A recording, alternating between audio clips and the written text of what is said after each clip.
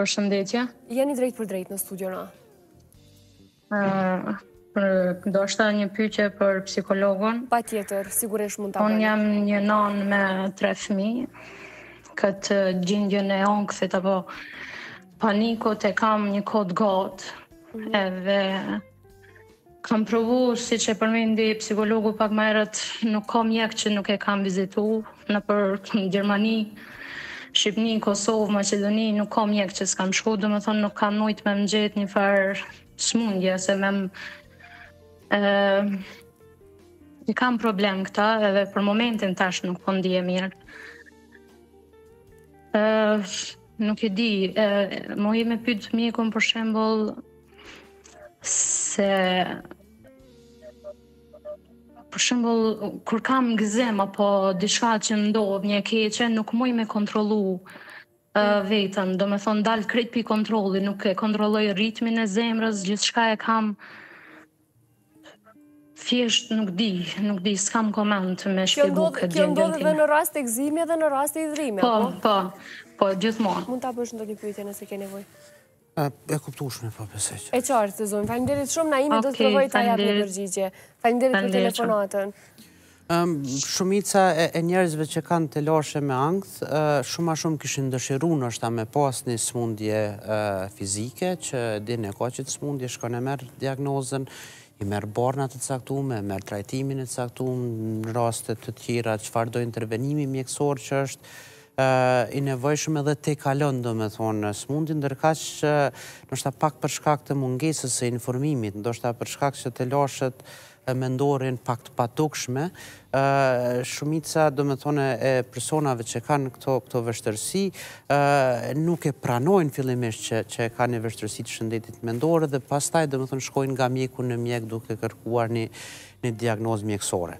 Siç e thamë edhe më herët, të gjitha këto shenjat edhe simptomat e sëmundjeve fizike munden me i dhonë çrregullimet e ankthit e sidomos ataku i panikut. Domethënë pothuajse secilën sëmundje tu përfshi domethënë të organeve të zemrës, qarkullimit të gjakut, frymëmarrjes e të tjera, mirëpo në shumicën e vendeve të botës edhe mjeku i përgjithshëm E këto i i domethënë telashet e ankthit i identifikon saktë domethënë edhe i tregon zakonisht klientëve, pacientëve që nuk kemi të bëjmë me një sëmundje fizike mirëpo kemi të bëjmë me një telashe të ankthit edhe pastaj merret trajtimi për çrregullimin e e ankthit i cili kur është i suksesshëm atëherë të gjitha simptomat fizike që i përmenëm, domethënë fillojnë, fillojnë me u ulë nikohsisht.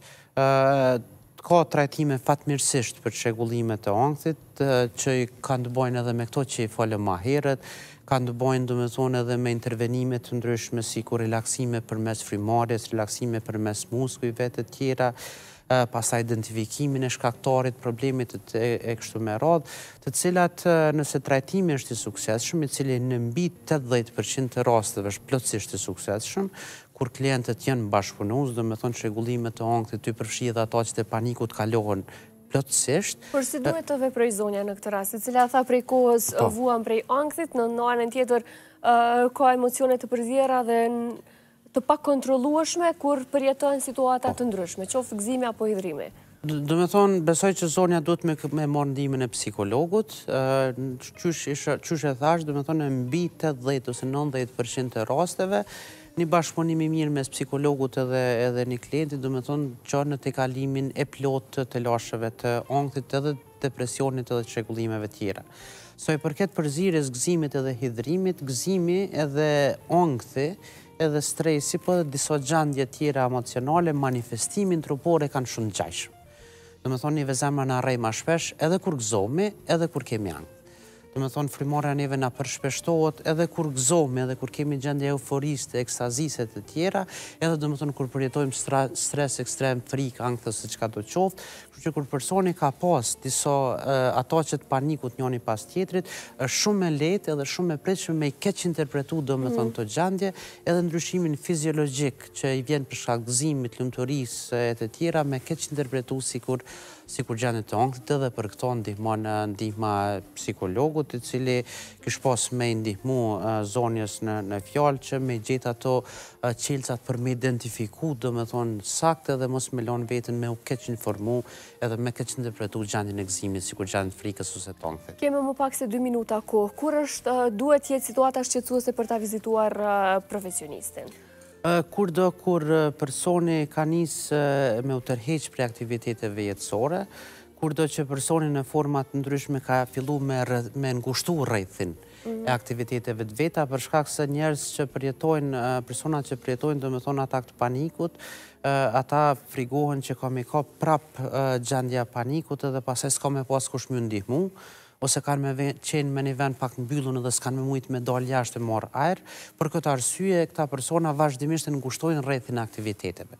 Domethënë fillimisht nuk shkon me një qytet larg nëse duhet me shku, pastaj fillon mos me vozitë fare për shkak se mundet me më kapë në veturë dhe s'ka kush më ndihmon, pastaj mundet mos me shku në shkollë, mundet mos me shku në punë, mundet mos me shku te fqiu, te i afërmi e të tjera, kurdo që nisin, domethënë.